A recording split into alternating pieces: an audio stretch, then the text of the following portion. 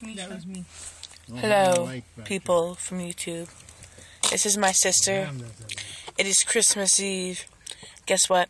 I got my tongue done. She's really weird for doing that. You know what? You a You're gonna wear that battery out. Oh, Keisha. China, good. She knows she is. Just kidding. I love you. I don't love you. no, but seriously, um, I just wanted to make a video to wish y'all a Merry Christmas and a Happy freaking New Year. Where are you? And that's my mom on the phone.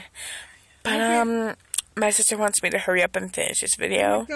But I love you guys. Even No, though I don't have that many viewers, just going through a all my viewers, thank you for the gift of Okay then. viewing. Right. You are very impolite. Sounds like you're just getting ready to leave. What do you got to say to my friend, to my YouTube people? I think it's like my balls.